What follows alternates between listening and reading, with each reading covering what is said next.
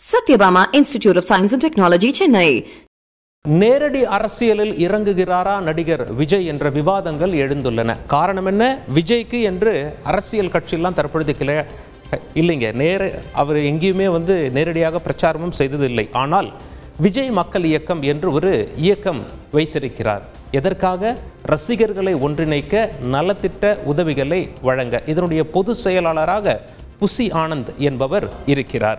இவங்க அரசியலில் போட்டிட்டு இருக்காங்களான்னு கேட்டால் ஆம் போட்டிட்டு இருக்காங்க. ஐம்பத்தி ஒரு பேர் நகர்ப்புற உள்ளாட்சி தேர்தலில் வெற்றியும் பெற்றிருக்கிறார்கள். விஜய் இவர்களுக்காக எந்த பிரச்சாரமும் செய்யவில்லை. ஆனால் வெற்றி பெற்ற பிறகு விஜய் இவர்களை நேரில் அழைத்து பாராட்டினார். தற்பொழுது இந்த அவருடைய மக்கள் இயக்கம் தொடர்பாக செயல்பாடுகள் மற்றும் அடுத்த கட்ட வளர்ச்சி குறித்து ஒரு கூட்டம் ஒன்று ஒரு மாத காலம் நடைபெறும் என்ற அறிவிப்பு வெளியாகி இருக்கிறது மாவட்டந்தோறும் இந்த கூட்டங்கள் நடைபெறும்.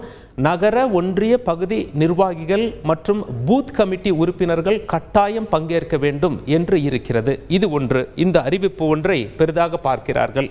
இரண்டாவது அறிவிப்பு என்ன அப்படின்னா நாளை அம்பேத்கர் அவர்களின் பிறந்த நாள்.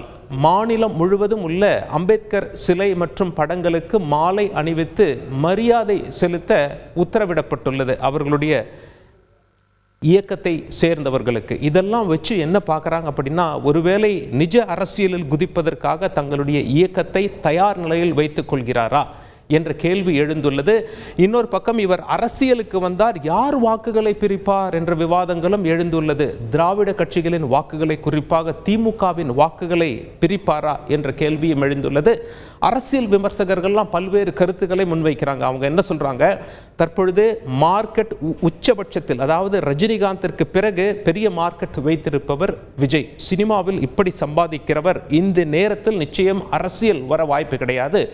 எனினும் எதிர்காலத்திற்காக தன்னுடைய அரசியல் கட்சிக்கு ஒரு அடித்தளம் இடுவார் என்று எதிர்பார்க்கப்பட்டது. அந்த வகையில்தான் இவருடைய இயக்கத்தின் செயல்பாடுகள் தற்பொழுது நகர்ந்து வருகிறது. எனினும் தமிழகத்தை பொறுத்தவரை திமுக ரொம்ப ஸ்ட்ராங்காக இருக்க வரை திடமாக இருக்கும் வரை விஜய் அரசியலில் குதிக்க வாய்ப்பில்லை என்ற கருத்துக்களையும் அரசியல் விமர்சகர்கள் முன்வைத்திருக்கிறார்கள்.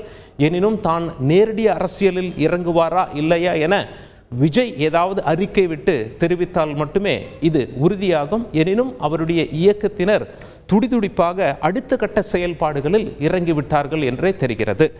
Sathyabama institute of science and technology. Admission என்கொயரிக்கு கீழே உள்ள லிங்கை கிளிக் செய்யவும்.